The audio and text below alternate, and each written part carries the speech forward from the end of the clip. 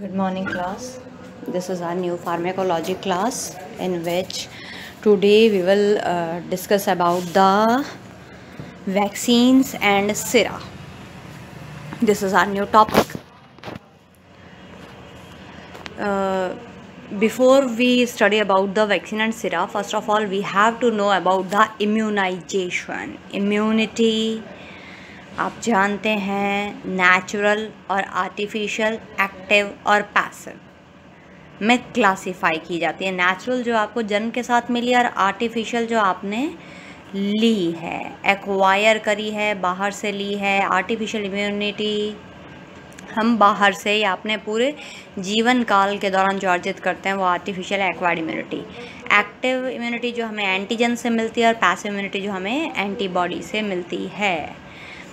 Artificial जो immunity होती है, वो हमने बाहर से ली होती है टीकों के रूप में, उसको हम प्रोफाइलैक्सिस भी कहते हैं।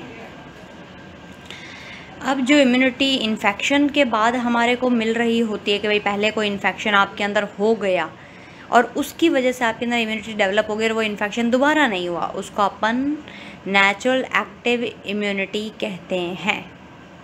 जो वैक्सीन से मिलती है वो एक्टिव आर्टिफिशियल इम्यूनिटी जो एंटीबॉडी एंटी सिरा से वो एंटी सिरा एंटीटॉक्सिन्स भी हो सकते हैं। से मिल रही है वो आर्टिफिशियल पैसिव इम्यूनिटी और जो एंटीबॉडी हमारे को हमारी माँ के प्लेसेंटा या मिल्क से मिलती है, वो नेचुरल पैसिव इम्यूनिटी तो आप देख सकते हैं, भाई देखो पैसिव मैंने कहा एंटीबॉडी का रोल होता है और एक्टिव में एंटीजन का। तो इम्यूनिटी इन्फेक्शन होने के बाद इम्यूनिटी डेवलप हुई, यानी एंटीजन आया था। वैक्सीनेशन में एंटीजन डाला जाता है, तब तो वो एक्टिव नेचुरल और आर्टिफिशियल और अगर सीधी एंटीबॉडी आई है नेचुरली आई है तो नेचुरल पैसिव के माँ के प्लेसेंटा से या माँ के मिल्क से ब्रेस्ट फीडिंग के दौरान। या फिर हमने टीके के रूप में एंटीबॉडी डाली है तो वो पैसिव आर्टिफिशियल पैसिव इम्यूनाइजेशन कहलाता है। एक्टिव इम्यूनाइजेशन हॉर्स के इम्यून सिस्टम को स्टिमुलेट करता है ताकि वह स्पेसिफिक एंटीबॉडी प्रोड्यूस करे या सेलुलर इम्यून रिस्पॉन्स दिखाए या दोनों दिखाए, ताकि वो उस एंटीजन से बच सकें और उस डिज़ीज़ को एलिमिनेट कर सकें तो उसको अपन एक्टिव इम्यूनिटी कहते हैं या एक्टिव इम्यूनाइजेशन कहते हैं। पैसिव इम्यूनाइजेशन में अपन एंटीबॉडी की प्रिपरेशन जिसको कि हम, जो कि पैथोजन को न्यूट्रलाइज कर देती है, उस एंटीबॉडी को हम एडमिनिस्टर करते हैं before around the time of known और पोटेंशियल एक्सपोजर कि जब हमें पता हो कि वो पोटेंशियल एक्सपोजर होने वाला है उस समय या उसके आसपास या उससे पहले अगर हमने वो एंटीबॉडी प्रिपरेशन डाली पैथोजन को न्यूट्रलाइज करने के लिए तो हम उसको पैसिव इम्यूनाइजेशन कहते हैं। अब वैक्सीन्स क्या होती हैं? वैक्सीन्स हमें एंटीजेनिक स्टिमुलेशन देती है, जिससे बीमारी नहीं होती, पर लॉन्ग लास्टिंग प्रोटेक्टिव इम्यूनिटी हमारे अंदर प्रोड्यूस हो जाती है। मतलब ऐसा एंटीजेनिक स्टिमुलेशन हमारे बॉडी को मिलता है जो हमारे को बीमार तो नहीं करता है, पर हमारे अंदर इम्यूनिटी को डेवलप कर देता है जो लंबे समय तक रहती है, हमें प्रोटेक्शन देती है। अब वैक्सीन्स कितने तरह की होती हैं, उनके क्या करेक्टरिस्टिक्स हैं? तो लाइव वैक्सीन स्किल्ड वैक्सीन्स और subunit vaccines live attenuated vaccines and vectors killed vaccines and we और सब यूनिट वैक्सीन्स जिसमें हम रिकॉम्बिनेंट वैक्सीन भी पढ़ते हैं और कॉन्जुगेट वैक्सीन भी पढ़ते हैं recombinant and conjugate vaccine isolate inactive inject the positive organism हमें इस इन वैक्सीन्स को बनाने के लिए पहले ऑर्गेनिज्म को आइसोलेट करना पड़ेगा। कौन से ऑर्गेनिज्म को? जिस ऑर्गेनिज्म के अगेंस्ट में हम इम्यूनिटी डेवलप करना चाहते हैं। जिन ऑर्गे जिस ऑर्गेनिज़म के अगेंस्ट हमने वैक्सीन बनाई है तो कैसे बनाई है? पहले हमने उस ऑर्गेनिज़म को आइसोलेट किया, फिर उस ऑर्गेनिज़म उस माइक्रो ऑर्गेनिज़म को हमने इनएक्टिवेट किया और फिर बॉडी में इंजेक्ट कर दिया। जो पॉजिटिव ऑर्गेनिज्म है, जब वो उस बीमारी को पैदा करता है, उस पॉजिटिव ऑर्गेनिज्म को आपने आइसोलेट किया इनएक्टिवेट किया और इंजेक्ट किया। वो लाइव एटीनोटेड क्योंकि हो सकता है आपने लाइव इनएक्टिवेट करके डाला था, या उसने ऑर्गेनिज्म को मार के डाला, यानी किल्ड वैक्सीन या उसकी कोई सब यूनिट वैक्सीन आपने तैयार की थी। ये आपको पता ही है इम्यूनाइजेशन स्केड्यूल है। आपने फ़र्स्ट ईयर के अंदर पढ़ा था इन्फेंट चिल्ड्रन में लगाने वाला, जैसे जन्म समय B C G O P V की फ़र्स्ट डोज लगाते हैं हिपेटाइटिस बी की। बारह से चौबीस घंटे के बाद में फ़र्स्ट डोज लगती है। छठे हफ़्ते के अंदर डीपीटी ओपीवी हेपेटाइटिस बी दस से चौदहवें हफ़्ते में डीपीटी और ओपीवी छठे महीने में हेपेटाइटिस बी नवे महीने में मीजल्स पंद्रह से अट्ठारह महीने में डीपीटी एमएमआर और ओपीवी की बूस्टर डोज लगाई जाती है। चार से पाँच साल के बच्चे जो स्कूल जा रहे होते हैं, उनमें D T D A O P V की बूस्टर डोज टाइफाइड की T A B two dose V I की one dose typhoid twenty one A three doses optional. दस साल के बच्चे में T T T A B V I T I twenty one A optional है ये। और सोलह साल के बच्चे में टी टी का इंजेक्शन लगता है और टी टी के बारे में आप जानते हो तो हमेशा आप कभी भी चोट के समय पर लगवा सकते हैं। प्रेग्नेंट वेमेन के अंदर 16 से 24 हफ़्ते की प्रेगनेंसी है तो टीटी का फ़र्स्ट डोज और 24 से चौंतीसवें हफ़्ते में टीटी की सेकेंड डोज लगती है। अब ये वैक्सीन्स कितने तरह की हैं? तो ये जो नाम अभी अपन ने बोले, वो यहाँ पर देखो। दिए हुए आप थोड़ा बड़ा करके इसको देख सकते हो। जन्म से हिपेटाइटस वगैरह। हिपेटाइटस बी की जन्म के समय, पहले महीने में तो ये सारा पूरा चार्ट दिया हुआ है। जन्म के समय, दो महीने बाद, चार महीने बाद छः महीने बाद, बारह महीने बाद और पंद्रह महीने, फिर चार से अठारह महीने, फिर चार से छः साल की उम्र और फिर ग्यारह से बारह साल की उम्र में टीके लगाए जाते हैं। एट्टी वन वैक्सीन जो होते हैं, वो सिक्स ईयर्स के अंदर मिल रही होती है। वैक्सीनेशन में अपन बैक्टीरिया वायरस जेनेटिक मटेरियल या दूसरे बायोलॉजिकल प्रोडक्ट्स या टॉक्सिक केमिकल्स जैसे मर्क्यूरी एल्यूमिनियम फॉर्मलिहाइड एसिड्स वगैरह चाइल्ड के बॉडी में डीप में इंजेक्ट करवा देते हैं, जहाँ पर वो एक्सेस होते हैं ऑर्गन्स में ब्रेन वगैरह में, जिसकी वजह से the result are a host of illness that were rare कि भाई वो व्यक्ति बहुत कम बीमार पड़ेगा या वैक्सीनेशन से पहले नॉन एग्जिस्टेंट बिफोर वैक्सीनेशन वो बीमारी जो उसको वैक्सीनेशन से पहले नहीं थी, वो वैक्सीनेशन के बाद में अब नहीं होगी। अब but are not limited these condition include but are not limited to the following हालाँकि इन कंडीशन में अधिकतर बीमारी आ जाती है, पर ये जो नीचे नाम दिया हुआ जैसे autism juvenile diabetes juvenile R A reading problem language difficulty इन सब की कोई वैक्सीन हमारे पास नहीं है। तो वो सारी बीमारियों के नाम यहाँ पर दिए हुए हैं। आप पढ़ लीजिए। ये 2009 सीडीसी ने रिकमेंड किए थे ये सारी की डिज़ीज़ ब्रोंक्योलाइट्स वगैरह। ये वैक्सीन की डोज क्या मतलब है? डीटीपी का diphtheria tetanus pertussis flu influenza के लिए hep A hepatitis A hep B hepatitis B H I B haemophilus influenza type B तो ये सारे नाम जो है, आप देख लीजिए किसका क्या मतलब है। ठीक है? अब लाइव एटीनोटेड वैक्सीन क्या है? इसमें हम इम्यूनाइजेशन एटीनोटेड पैथोजन करते हैं। एटीनोटेड मतलब वीक वीक का मतलब कि वो पैथोजन वो माइक्रो ऑर्गेनिज्म जो डिज़ीज़ कॉज कर रहा है, उसको अपन पैथोजन कहते हैं, वो ज़िंदा तो है, पर वो वीक है या वो इनएक्टिवेटेड है। इसके एग्जाम्पल्स में बहुत सारी वायरल वैक्सीन जैसे पोलियो वैक्सीन पोलियो में जो ओरल सैबिन होती है सालकंड सैबिन आपने नाम सुना है, अपने यहाँ पर बुक शॉप का नाम भी है।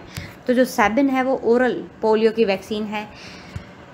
वो लाइव एटेनोट की कैटेगरी में आती है। इसके अलावा मम्स मीजल्स रुबेला वेरिसेला ये सब वायरल वैक्सीन्स हैं जो कि लाइव एटेनोटेड फॉर्म में प्रेजेंट होती है। और कुछ बैक्टीरिया की, जैसे कि बीसीजी की, जो टीबी के लिए लगाते हैं। अब फ़ायदे क्या हैं इसके? ये ह्यूमर और सेलुलर दोनों रिस्पॉन्स को इंड्यूस करती है। Induction of both humoral and cellular response humoral का मतलब जिसमें एंटीबॉडी इन्वॉल्व होती है सेलुलर मतलब जिसमें साइटो जो सेलुलर इम्यूनिटी होती है, वो सेलुलर रिस्पॉन्स प्रोड्यूस करती है। Live attenuated vaccine long lasting immunity provide करती है। एक या दो डोज डालने के बाद बहुत लंबे समय तक आपके शरीर में या जीवन पर्यंत आपके शरीर में असर दिखाएगी। इसकी लिमिटेशंस क्या है? इम्यूनो कॉम्प्रोमाइज पर्सन को अपन ये नहीं दे सकते। हो सकता है उनमें बीमारी पैदा कर दे। इन स्टेबिलिटी क्योंकि थर्मोलेबाइल होती हैं तो हीट से इनएक्टिवेट हो जाती हैं। बीसीजी की एफिकेसी काफ़ी लिमिटेड है। दूसरी है इनएक्टिवेटेड या किल्ड वैक्सीन इनमें इसमें इम्यूनाइजेशन अपन किल्ड पैथोजन को लेकर के करते हैं। किल्ड या इनएक्टिवेटेड पूरा पूरा इन्फेक्टिव एजेंट अपन लेते हैं। जैसे पट्यूसस टाइफाइड और पोलियो की वैक्सीन और इन्फ्लुएंजा की। किल्ड वैक्सीन है पोलियो की, साल्क जो वैक्सीन है वो आती है। लाइव में तो थी सेबिन किल्ड में है साल्क। एडवांटेज, ज़्यादा समय तक स्टेबल होती है, सेफ़ होती है, इन्फेक्शन होने का डर नहीं रहता, लिमिटेशन, इसमें इम्यूनोजेनेस्टिक कम होती है। केवल एंटीबॉडी इंड्यूस्ड होएगी, उसके एडजुवेंट की भी हमारे को आवश्यकता पड़ती है। ये शॉर्टर इम्यूनिटी होती है, इसलिए हमें मल्टीपल टाइम देना पड़ता है बूस्टर एडमिनिस्ट्रेशन इसका करना पड़ता है। थर्ड है सब यूनिट वैक्सीन जिसको अपन एंटीजेनिक वैक्सीन भी कहते हैं। इसमें इम्यूनाइजेशन स्ट्रक्चरल एंटीजन के साथ में कहता है पैथोजन या उसके प्रोडक्ट का स्ट्रक्चरल एंटीजन लेकर के मतलब एक छोटा टुकड़ा ले रहे हैं, कोई प्रोटीन कोई पॉलीसेक्राइड ले रहे हैं, जैसे टॉक्सॉइड वगैरह। ये वैक्सीन पर्ट्यूसिस के अंदर दी जाती है ए सेलुलर है। टेस्टस डिप्थीरिया के टॉक्सॉइड दिया जाता है इन्फ्लुएंजा ए में हीम ए ग्लूटिनिन और न्यूरो मिनीडेज दी जाती है। हेपेटाइटिस बी में एच बी एस एंटीजन दिया जाता है। Human papilloma virus L one protein देते हैं, इसको अपन वायरस लाइक पार्टिकल भी इसीलिए कहते हैं V L P pneumococcal meningococcal polysaccharide vaccine ये सब सब यूनिट वैक्सीन के एग्ज़ाम्पल है। इसके फ़ायदे क्या हैं? ये इनएक्टिवेटेड वैक्सीन के जैसे होते हैं, ज़्यादा सेफ़ होती है लिमिटेशन भी इनएक्टिव वैक्सीन जैसी होती है, इसकी इम्यूनोजेनेसिटी कम होती है। इम्यूनोजेनेसिटी मतलब एंटीबॉडी प्रोडक्शन की कैपेसिटी टॉक्सॉइड्स क्या होते हैं? टॉक्सॉइड्स इनएक्टिवेटेड टॉक्सिन्स को कहते हैं अपन। टॉक्सिन्स भाई आपने फ़र्स्ट ईयर में पढ़ा है माइक्रोबायोलॉजी में। कि बैक्टीरिया कुछ टॉक्सिन्स का प्रोडक्शन करते हैं और टॉक्सिन्स भी हमारे लिए हार्मफुल होते हैं, जैसे एक्जोटॉक्सिन और एंडोटॉक्सिन उन टॉक्सिन्स को अगर आप इनएक्टिवेट कर दो तो उससे जो प्रिपरेशन बन रही है, वो टॉक्साइड है, जो कि वैक्सीन के रूप में काम में ली जाती है। Vaccine directly at the toxins produced by a pathogen pathogen से डायरेक्ट जो टॉक्सिन प्रोड्यूस हो रहे हैं उससे अपन इनएक्टिवेट करके वैक्सीन बनाते हैं, उसको अपन टॉक्सॉइड्स कहते हैं। जैसे टिटनस और डिप्थीरिया के टॉक्सॉइड्स आते हैं, ये स्टैंडर्ड चाइल्डहुड इम्यूनाइजेशन सीरीज़ का एक पार्ट है। इनमें सीरीज़ ऑफ़ इंजेक्शन दी जाती है फुल इम्यूनिटी के लिए और 10 साल में, हर 10 साल में इसकी बूस्टर डोज दी जाती है। एग्ज़ाम्पल क्या है भाई? ये diphtheria typhoid diphtheria pertussis combination vaccine के एग्ज़ाम्पल देखिए। अब कॉम्बिनेशन वैक्सीन जिसमें अपन साथ में कई चीज़ों के लिए एक साथ वैक्सीन देते हैं, जैसे डी टी डिप्थीरिया टाइफाइड के लिए डीपीटी डिप्थीरिया पर्ट्यूसिस टाइफाइड के लिए H I B M M R M M R V इन सब के फुल फॉर्म आपको पीछे मिल जाएँगे, हालाँकि आपको आते भी हैं। इसके फ़ायदे क्या हैं भाई? एक निडल में पूरे कई बीमारियों को हम ट्रीट कर सकते हैं। एक निडल इंजेक्शन दी। तो बार बार नंबर ऑफ़ विज़िट्स की ज़रूरत नहीं पड़ती कॉस्ट कम पड़ रही होती है जोग्राफिकल टेलरिंग आसान पड़ती है। नुकसान क्या है? इम्यूनोजेनेसिटी इससे कम होती है। कंपटीशन हो रहा होता है ना दो तीन वैक्सीन के बीच में इस वजह से इम्यूनोजेनेसिटी कम हो जाती है। अब इम्यूनोथेरेपी क्या होती है भाई? परफॉर्म्ड एंटीबॉडी इम्यूनोथेरेपी है। इसमें इम्यून सिरम ग्लोब्यूलिन, जो कि गामा ग्लोबुलिन होता है, वो लेते हैं। इसमें इम्यूनोग्लोबुलिन एक्सट्रैक्ट किया जाता है, पूल्ड, ब्लड को पूल करके। लगभग हज़ार ह्यूमन डोनर में से, कम से कम हज़ार ह्यूमन डोनर्स में से आपको ब्लड लेना है। उस ब्लड में से इम्यूनोग्लोबुलिन को एक्सट्रैक्ट करना है। वो इम्यूनोग्लोबुलिन गामा ग्लोबुलिन होते हैं, उससे अपन सिरम ग्लोबुलिन बनाते हैं। ट्रीटमेंट ऑफ़ चॉइस क्या है? जैसे मीज़ल्स के लिए काम आता है हेपेटाइटिस ए के लिए replacing antibody in immune deficient जो इम्यून डेफिशिएंट पर्सन होते हैं उनमें अगर एंटीबॉडी को आपको रिप्लेस करना है, तब भी हम इसी से ही करते हैं। ये दो तीन महीने तक अपना असर दिखाती है। अब पैसिव इम्यूनिटी क्या है? ऑलमोस्ट सभी ब्लड और ब्लड प्रोडक्ट्स ये पैसिव इम्यूनिटी के सोर्स होते हैं। होमोलोगस पूल्ड ह्यूमन एंटीबॉडी भैया हमने ह्यूमन एंटीबॉडी को जहाँ निकाला है इम्यून ग्लोबुलिन ये भी सोर्स है। Homologous human hyper immune globulin भी इसका सोर्स है और हिट्रोलोगस हाइपर इम्यून सिरम जिसको अपन एंटीटॉक्सिन कहते हैं, वो भी इसका सोर्स है। सिरम प्रिपरेशन कैसे की जाती है? क्योंकि हमें वैक्सीन के बाद एंटी सिरा भी पढ़ना है ना। वैक्सीन एंड सिरा तो सिरा बता रही हूँ मैं आपको। सिरा के सोर्सेज बता दिए। अब क्लासिफिकेशन होमोजिनस सिरा और हेट्रोजिनस सिरा। सिरा जो कि ब्लड डोनर वॉल्टियर से लिया जाता है, जो इम्यूनाइज हैं, उन वॉल्टियर से लिया जाता है, वो होमोजेनस सिरा है। और हेट्रोजिनस सिरा में सिरम हमने ऑप्टेंड किया है एनिमल्स के ब्लड से। जो हॉर्सेस जैसे हाइपर इम्यूनाइज अगर कोई एनिमल्स है, उनके ब्लड से अगर हम सिरम बना रहे हैं तो हेट्रोजिनस सिरम कहलाता है। अब हॉर्स से एंटी सिरा कैसे बनाते हैं? टिटनस एंटीटॉक्सिन बनता है, गैस गैंग्रीन के एंटीटॉक्सिन बनते हैं, डिप्थीरिया एंटीटॉक्सिन बनता है एंटी रेबीज़ सिरम बनता है एंटी स्नेक वैनम पॉलीवेलेंट जो मैंने आपको अपनी इस लास्ट क्लास में पढ़ाया था, वो कॉबरा से, टू वाइपर्स, क्रेट से, इन सबसे जो एंटी स्नेक वैनम पॉलीवेलेंट बनता है, वो एंटी सिरा हॉर्स का होता है। नेक्स्ट इम्यून ग्लोबुलेंस जो ह्यूमन से हैं उसमें नॉर्मल ह्यूमन गामा ग्लोबुलिन अपन मोस्टली काम में लेते हैं। इसके अलावा एंटी डी इम्यून ग्लोबुलिन काम में ले आता है। क्रॉस मैच होता है ना, बच्चों, माँ का ब्लड ग्रुप अलग है, बच्चे का ब्लड ग्रुप अलग है तो ये दिया जाता है। टिटनस इम्यून ग्लोबुलिन लेते हैं रेबीज इम्यून ग्लोबुलिन लेते हैं हिपेटाइटिस बी इम्यून ग्लोबुलिन अपन लेते हैं। ख़त्म आपका ये सिरा। अब देखिए हाइपर सेंसिटिविटी रिएक्शन क्या है? हिट्रोजिनस सिरम के इंजेक्शन से कई बार हाइपर सेंसिटिविटी रिएक्शन जैसे एनाफाइलैक्सिस और सिरम सिकनेस डेवलप हो जाती है। Anaphylaxis type one hyper sensitivity और serum sickness type third hyper sensitivity है। Type one anaphylactic reactions often occur two to thirty minutes जैसे ही आपने पर्सन को सेंसिटाइज किया एंटीजन से तो उसके दो मिनट से लेकर तीस मिनट तक में ये रिएक्शन दिखाई दे जाएगी जब वो एंटीजन का रीएक्सपोज होगा। एनाफाइलैक्सिस अपोज प्रोटेक्शन होता है, इसमें आईजीई एंटीबॉडी का रोल होता है। एना मतलब अगेंस्ट फाइलैक्सिस तो मतलब प्रोटेक्शन किसी के अगेंस्ट प्रोटेक्शन आप दे रहे हैं। इसमें किसका रोल है? आईजीई एंटीबॉडी का। एनाफाइलैक्टिक रिस्पॉन्स सिस्टमिक रिएक्शंस के लिए हो सकता है, जिससे शॉक प्रोड्यूस हो सकता है ब्रीदिंग डिफ़िकल्टी हो सकती है, कई बार ये जानलेवा हो जाता है और या फिर लोकलाइज रिएक्शन दिखाता है। जैसे एलर्जी कंडीशन में हे फीवर एस्थमा हाइव्स ये सब कॉमन जनरल जनरल ही एलर्जिक रिएक्शंस है, जिसमें स्किन में इचिंग होने लगाती है रेडनेस आ जाती है वगैरह।